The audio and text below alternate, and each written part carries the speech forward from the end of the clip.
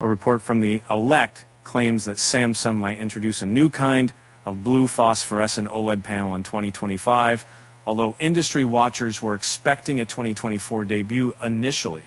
It looks like the development of the new material used for the blues, subpixels, isn't going smoothly. Uh, Samsung's current display technology implements uh, phosphorescent green and red subpixels, uh, but the blue diodes are still using fluorescence, so you can't call them POLED as it isn't technically correct. Um, the new phosphorescent diodes offer 100% internal luminous efficiency compared to the blue fluorescent ones that cap at 25%.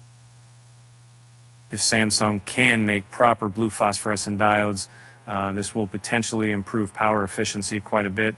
However, there's one big caveat to consider. The lifespan of the diodes, blue phosphorescent diodes, is about 55% of the fluorescent blue diodes.